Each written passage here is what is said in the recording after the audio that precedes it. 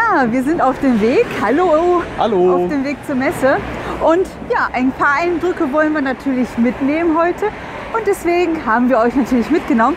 Aber wir sind in erster Linie heute privat da und deshalb gibt es auch nur ein paar kleine Einblicke. Schauen wir mal, was wir so sehen. Viel Spaß!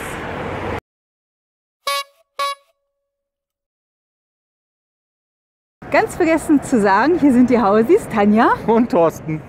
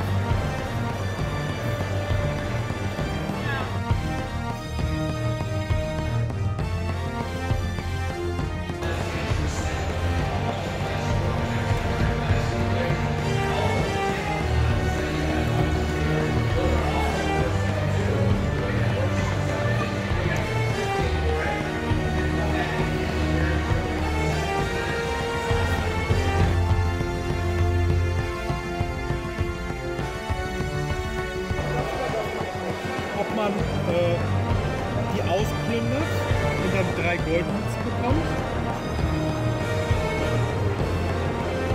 Ich bezahle ein und äh, werden freundlich. Oder du zahlst ein und gehst um und nimmst dir eine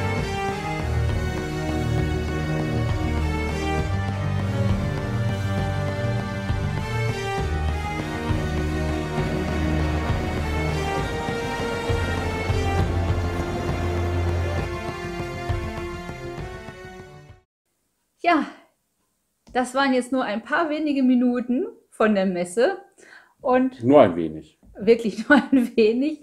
Wir haben ja vorher gesagt, dass wir nicht viel filmen werden, eventuell. Und ja, es ist wirklich so gewesen, wir haben nicht viel Zeit gehabt und haben wirklich ähm, die Zeit, die wir haben, ja, so genutzt, dass wir halt spielen, sprechen konnten. Aber filmen ist halt etwas zu kurz gekommen. Ja gut, wir waren ja auch nicht alleine unterwegs, wir hatten ja auch einen Freund von uns mit dabei. Genau, und wir waren privat da. Und ähm, aber bevor wir jetzt zur Messe wiederkommen, wollen wir noch mal zurückzwitschen an den Samstagabend. Hm, richtig. Genau. Also die Messe hat ja für uns in Anführungszeichen schon Samstagabend begonnen. Wir waren zwar da noch nicht auf der Messe, aber wir waren ähm, auf dem Bloggertreffen zum ersten Mal für, mit die, ja, für die Brettspiel-Blogger-Szene. Und Hm. ja, wir waren zum ersten Mal da und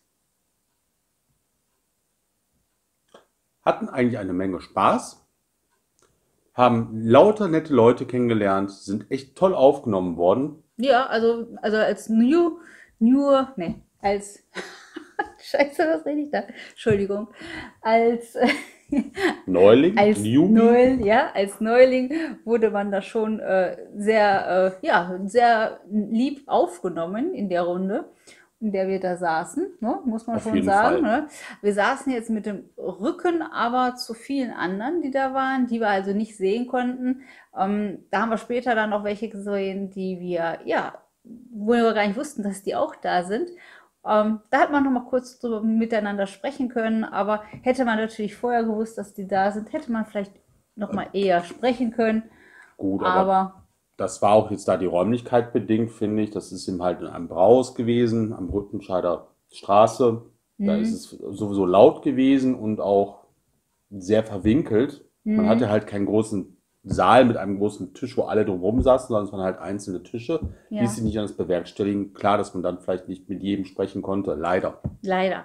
Aber wir haben viele nette Leute kennengelernt, die man halt vorher nur, ja, wir kannten uns vorher teilweise nur aus dem Internet, ähm, von Instagram oder halt auch von Twitter oder halt von YouTube. Und ähm, ja, an dieser Stelle schönen Gruß an Jan Jasmin. Die Simone und den Nico vor allem. Ja, und ja, und die beiden von, von Pibo Board Games, Jason und äh, Janine, die haben wir ja da zum Schluss auch nochmal kurz gesprochen. Und herzliche Grüße an dieser Stelle an euch alle. Schön, euch persönlich kennengelernt zu haben. Hat echt Spaß gemacht und freue mich vielleicht auf ein neues, baldiges Wiedersehen. Ja, vielleicht ja nächstes Jahr wieder auf dem Blogger-Treffen. Ne? Wenn es wieder stattfindet, werden wir bestimmt auch kommen. Und ansonsten. bestimmt auf jeden Fall. Ja, und ansonsten, ich weiß gar nicht, also es gibt ja auch, gibt es eigentlich auch ein Blogger-Treffen für die kommende Spielmesse, für die Spiel doch in Duisburg, gibt es da auch schon ein Weiß Blogger-Treffen? ich nicht.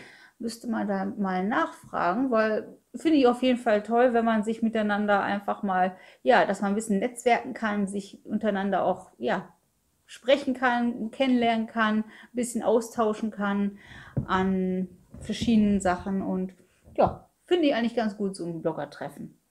Und was ich ganz witzig fand hier, ähm, von, äh, von Jan und Jasmin haben wir hier so Siegpunkte bekommen. Also finde ich auch eine ganz interessante Promo-Aktion von, von euch. Ich glaube, ich habe gesehen, das haben auch andere Brettspiele, haben das auch. Ähm, ich weiß gar nicht, kann man da einfach mitmachen, wie das funktioniert, ähm, Steht ja auf der Rückseite drauf. wie das Nur funktioniert. Aber uns haben die Leute zum Beispiel gestern Abend überhaupt nichts gebracht, als wir an die Absackerrunde Rise of Queens mit unserem Freund gespielt haben, der zu Nacht zu Gast war. hätte ich doch eigentlich benutzen können. Ja, aber doch nicht, hätte trotzdem nicht gereicht. Hätte nicht gereicht, nein, stimmt. Aber jetzt So springen fertig, wie wir von der Messe wir, waren. Wir, wir springen jetzt wieder. Ne? Wir wollten eigentlich, also erst haben wir jetzt über, über ein Blogger-Treffen von Samstagabend gesprochen.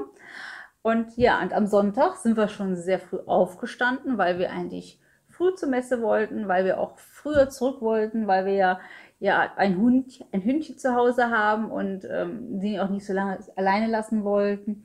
Und ähm, ja, aber wir muss, man muss schon sagen, wir hatten einen ziemlichen, wir hatten ein ziemliches Zeitproblem. Ich fühlte mich auch gestern nicht ganz so gut, also muss man auch dazu sagen, ne? Also fit war ich irgendwie nicht. Nö. Nö, ich war nicht so wirklich fit und ähm, deswegen haben wir auch nicht so viel gefilmt. Also nicht nur aus Zeitmangel, sondern einfach, ja, ich fühlte mich nicht so und wir hatten einige Punkte uns vorher zurechtgelegt, was wir alles machen wollten am Sonntag, was wir uns anschauen wollten und wir haben nicht alle Punkte ab, abgrasen können oder alles schaffen Ja, können. gut, alles auf, an einem Tag geht sowieso nicht. Man hat schon Abstriche bei der Auswahl gemacht, aber auch da Mhm. sind wir leider nicht so durchgekommen, wie wir es gerne gewollt hätten. Mhm. Ne, gab auch tatsächlich zwei, drei Spiele, die ich nur im Vorbeigehen gesehen habe, wo ich mich gerne mal mit näher beschäftigt hätte. Und Ja. zwei Titel habe ich selber so leider gar nicht gesehen, Mhm. obwohl sie da hätten sein sollen. Entweder habe ich sie übersehen Ich denke oder mal. vielleicht waren sie auch schon ausverkauft. Wer weiß. Vielleicht haben wir, also ich denke mal, wir haben vieles übergesehen, weil wir einfach nur teilweise da rausge ja, rausgerauscht, da durchgerauscht sind. Und ähm, ja, das war so ein bisschen. Aber fürs nächste Mal nehmen wir, planen wir ein bisschen mehr Zeit. Auch jetzt für die nächste Messe, die in, hier in Duisburg stattfindet, werden wir bestimmt auch ein bisschen mehr Zeit einplanen, dass wir da ein bisschen ausführlicher und gemütlicher alles machen können. Ähm, wenn man wirklich nur so ein paar Stunden Zeit-Content hat, Kontingent, ne, wie heißt das? Zeit-Kondi, Wenn man nur eine bestimmte Zeit hat. ja, Zeitpuffer hat.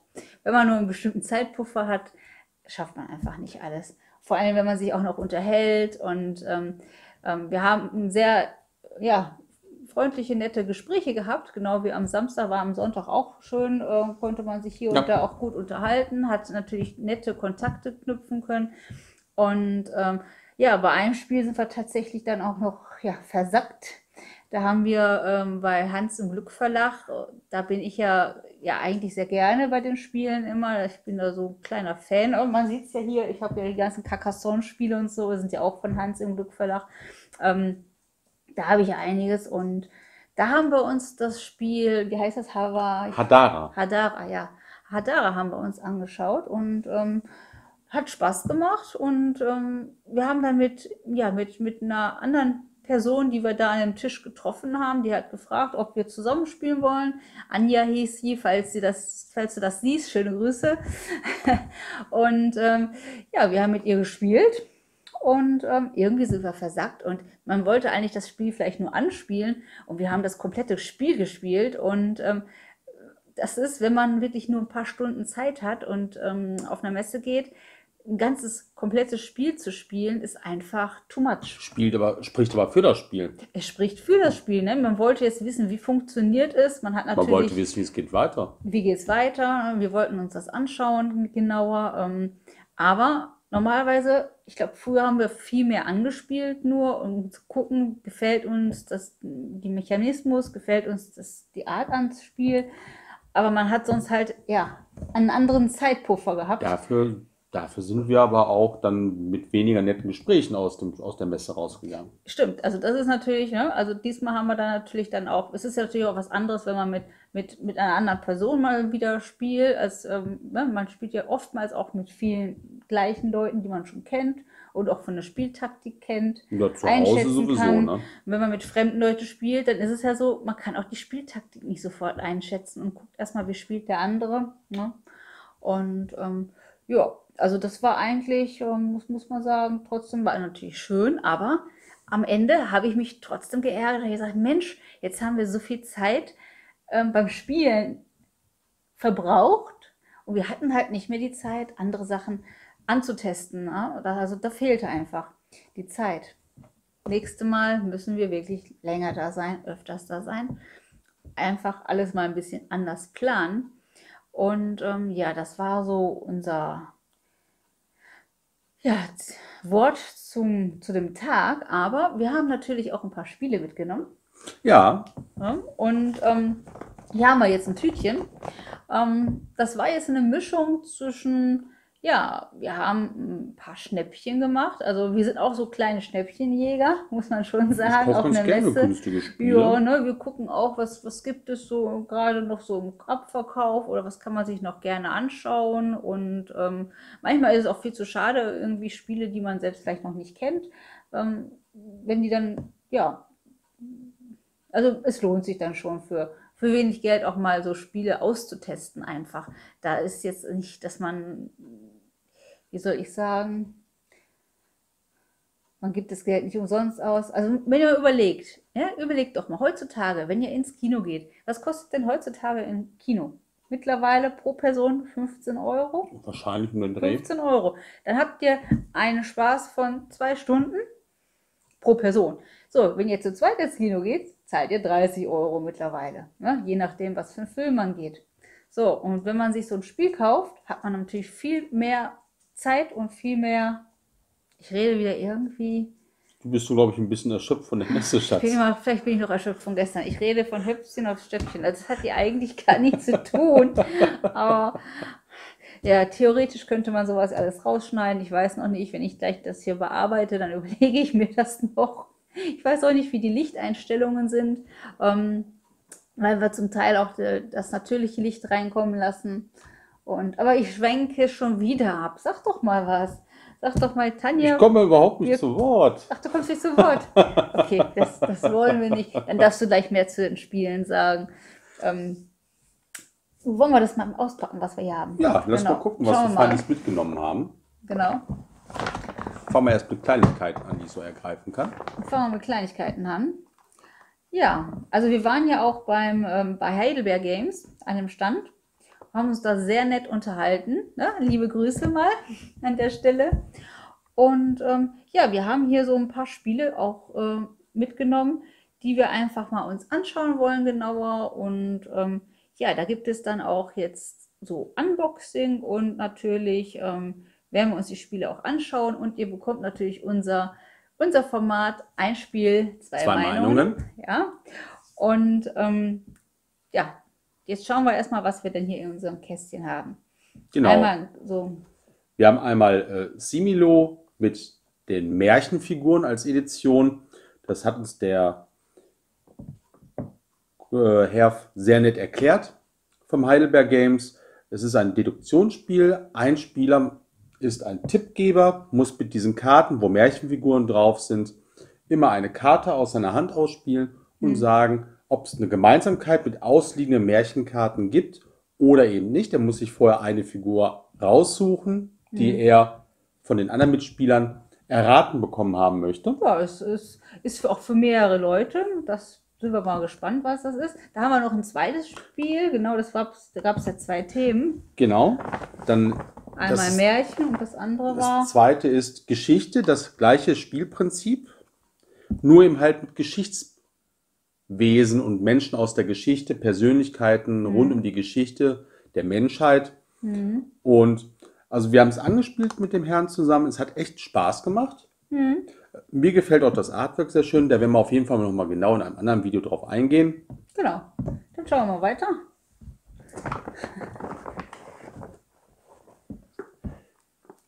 Ja, Willst du was zu sagen? das ist, das ist jetzt ein Spiel, das haben wir vom Krabbeltisch. Schatz, Schatzkiste. Ach, du hast immer Schatzkiste. sind genau. Piraten, ist eine Ja, ist Schatzkiste. eine Schatzkiste. Ähm, genau, ist ein Piratenspiel. Ich glaube, deswegen haben wir es auch mitgenommen. Ähm, ne, Piratenthema ist, interessiert uns auch. Und ähm, das haben wir für, ich zeig mal, ja, 5 Euro mitgenommen. Und für 5 Euro macht man eigentlich nichts falsch, wenn man so ein Kartenspiel mitnehmen möchte. Ne? Ja, also ich habe mal spaßhalber dann auch äh, bei Amazon mal geguckt, was man dafür bezahlen würde, wenn man es ganz normal ersteht. Da lag der Preis, je nachdem, wo man es kauft, irgendwie auch zwischen 10 und 15 Euro tatsächlich. War daher also schon sehr günstig. Und ich bin darauf gespannt. Es ist klassisch 17 und 4 oder knack 21 Schwimmen, wie man auch immer das sowas nennen möchte. Ja, Und habe ich früher viel gespielt. Ja. ich bin mal gespannt, das lässt sich wahrscheinlich dann schnell runterspielen. Der Clou dabei ist, dass angeblich die Piraten Sonderfähigkeiten haben, wo man sich gegenseitig dann die Werte wahrscheinlich ändern kann. Also, ja, Ich bin mal gespannt. Einmal das, was haben wir als nächstes? Ein etwas dickerer Karton, Ja, ja, da sind wir auf auch. den freue ich mich persönlich sehr. Ja, da sind wir auch sehr gespannt. Ach, da gibt es auch Figürchen, die wir anmalen können. Ja, von dem Spiel, Spiel Volt haben wir ja auch schon hier und da mal was von gehört. Und ähm, Ist Ja. ja. letztes Jahr bereits schon einmal rausgekommen und ähm, ich selber habe es dann erst gesehen heute ähm, im März auf der Spieldoch in Duisburg. mhm. Und da freue ich mich ganz besonders drauf, dass wir das auch mal uns dann auch genauer anschauen. Auch da machen wir auf jeden Fall mal ein Video von. ja, schauen wir mal. Ne? Schauen wir das mal. Wo tun wir das so lange hin? Stellen wir das mal, legen wir das mal hier hin. Passt ja irgendwie alles hier schön in die Mitte. Im Übrigen, die beiden Kartenspiele hier, die sind auf der Spielemesse neu rausgekommen auf Deutsch. Mhm. Ja, genau, da haben wir ja auch ein Foto gemacht, wie das präsentiert war auf der Messe. Und das nächste. Ah ja, auch wieder ein Spiel, das wir vom Grabbeltisch mitgenommen haben. Schatzkiste, mein Schatz. Schatzkiste. Ja, Schatzkiste haben wir auch aus der Schatzkiste Das klingt immer so mitgenommen. abwertend, wenn du sagst Grabbelkiste. Ja, Da kann man richtig schöne Schätze finden. Ja, okay, Schatzkiste. Wir haben es aus der Schatzkiste. Passend, ja, Nottingham ist natürlich auch so ein Thema. Das, das sowas mögen wir ja eigentlich, ne? Alles, was mit so in der Richtung zu tun hat. Und ähm, das ist jetzt ein Spiel, das hat auch nur, was mal gucken? Ja, das haben wir gezahlt. Ja, 2,50 Euro, ne? Ja, habe ich auch schon im Onlinehandel gesehen, irgendwie um die 5 Euro ohne Versand. Also auch von daher schon ein kleines Schnäppchen. Ja. Ist äh, von der Optik her, was man auf der Rückseite sehen kann, eigentlich ganz schön. Vielleicht kann man so ein bisschen erkennen, trotz Banderole der Verpackung. Ähm, Ist von Uwe, Uwe Rosenberg, ne? genau. Ähm, Kennt man ja. Regelwerk selber kenne ich jetzt noch nicht. Aber ich freue mich drauf, wie Tennis schon sagte, generell so Mittelalter- oder Fantasy-Settings mag ich ja persönlich sehr gerne. Mhm. Ja, und Ja, ich auch. ein Freund von mir hat immer gesagt, mit dem Uwe Rosenberg kann man eigentlich nichts verkehrt machen. Ja. Dann schauen wir mal weiter. Langsam wird es Licht im Dunkeln. Ah ja, Die Let ist das die letzte? Die letzte. Der letzte. und ja, eine schöne Tüte. eine schöne Tüte. Ja, genau. Äh, eine schöne Tüte finden wir auch, ja. Die ist auch sehr stabil, muss man sagen, ne? Ja. Die kann auch einiges ab. Ja, das ist ein Wörterspiel. Da bin ich ja mal gespannt, wie das ist. Also, da steht jetzt auch drauf, ist auch ein Solospiel, also Solospiel spielbar. Ein bis vier Spieler. Kann man also auch alleine spielen. Mit 30 Minuten angegeben, ab 10 Jahre. Wird also auch ein zugängliches Spiel sein, habe ich, oder haben wir uns sagen lassen. Ist auch auf das Spiel jetzt neu rausgekommen in Deutsch. Ja, gut familientauglich auf jeden Fall. Und ähm, ab zehn Jahre. Ja, das war dann das Spiel. Und das war jetzt unsere kleine ja, Ausbeute von der Messe. Wie ihr seht, wir haben jetzt nicht kistenweise mitgenommen, aber wie gesagt, wir waren auch nur, wir waren auch nur ein paar Stunden da. Und ähm, ich glaube, wenn wir ein paar Tage mehr gewesen wären, dann hätten wir bestimmt auch viel mehr hier und da äh, mitgenommen. Ein paar auch einige Titel, die uns so persönlich sehr interessieren. Aber schafft man einfach nicht. Nee, auf einem Das Tag ist- ist einfach zu viel. Ist einfach zu, äh, ja, ist einfach zu viel. Und ähm, ja, wir haben unseren Tag auch, haben wir, habt ihr vielleicht schon, ja, gerade im Vorspann habe ich es vielleicht schon eingeblendet, wenn nicht, blende ich es jetzt mal ein. Wir haben, äh, wir haben noch in, äh, am Freitagabend haben wir noch in der, so einer Last-Minute-Aktion, haben wir dann noch ähm, Buttons fertig gemacht. Ich habe so eine kleine Buttonmaschine und da haben wir uns so kleine 25 mm Buttons gemacht mit unserem, ups, mit unserem Logo und haben wir auch hier und da auf der Messe verteilt, auch beim Blo- Bloggertreffen ein bisschen und ähm, ja, ist, ist eigentlich ist eigentlich eine ganz witzige Sache mit den Buttons. Du sammelst ja auch Buttons, ne? Ja, Jetzt einer wir- kommt auf jeden Fall mit auf meine Tasche. Genau, jetzt haben wir unsere eigenen Buttons. Und ähm, ja, unsere T-Shirts sind auch gut angekommen. Also da wurden wir auch öfters drauf angesprochen auf Mhm. der Messe. Also hier nur noch ein Spiel, ne? Also ich meine, diesen Spruch kennt man einfach. Ist ja. Geht Ähm, wie jedes Jahr auf der Messe so. Noch ein. Spiel, eins geht noch. Genau, also wie wir schon in einem Video gesagt haben, man kann es ja mehr, mehrstellig, äh, mehrstellig. Man kann es ja verschieden interpretieren.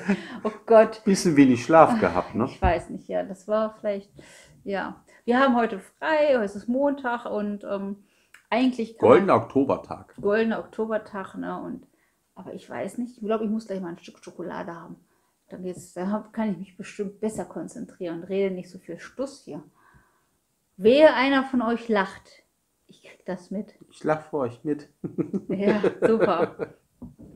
Ja, dann haben wir darüber gesprochen, über die Spiele, über unsere Buttons, über unser T-Shirt. So, das war eigentlich unser, so, unser Wochenende ne, zum Thema Spiel. Und ähm, wie gesagt, wir haben jetzt ja nicht ganz so viel Filmmaterial, aber ein kleines, ja, ein kleiner Rückblick jetzt Einfach nur der kleine Eindruck. ein kleiner Eindruck, kleiner Eindruck von uns, von unseren Spielen, die wir jetzt in der nächsten Zeit austesten werden und ähm, natürlich auch erstmal mit euch zusammen auspacken werden. Und ähm, ja, wenn ihr Fragen habt oder wenn irgendwas ist, immer unten in die Kommentare. Wie war denn die Spielmesse für euch? War es ja erfolgreich? Habt ihr viele Tage da alles bekommen, was ihr wolltet? Habt ihr auch viele Leute kennengelernt? Wie war das denn für euch, die Spielmesse? War das vielleicht für euch das erste Mal oder manche waren vielleicht auch gar nicht da? Kann ja auch passieren. Ja, Besucherzahlen waren ja größer als in den letzten Jahren, haben wir ja schon gelesen. So was ich gehört habe oder auch 209 gesehen habe, sollen es 200. mehr sein. 209.000, ne? Wobei ich tatsächlich sagen muss, ich jetzt, wie wir Sonntag drüber gegangen sind, das nicht ganz so voll empfunden habe, wie ich jetzt das suggeriert bekommen habe durch die Berichte von den Vortagen, Donnerstag, Freitag, Samstag. Ja, aber ich denke mal, dass viele dann die ersten Tage waren und ähm, ne, also wenn, wenn man schon zwei Tage war oder so, vielleicht geht man dann am dritten oder vierten Tag nicht unbedingt hin. Ne? Also manche müssen vielleicht auch arbeiten ähm, oder die haben sich, viele, ich kenne auch einige, die halt dann äh, samstags waren und sonntags nicht, weil sie halt dann sonntags die neuen Spiele geprobiert haben. Ne? Hm, Das haben, wir ja auch schon gehört hier und gut. da. Hm. Ja, das war's für heute. Wir haben mal wieder viel geredet. Ich habe heute viel geredet. Wir sagen Tschüss, die Hausis, Tanja. Und Thorsten.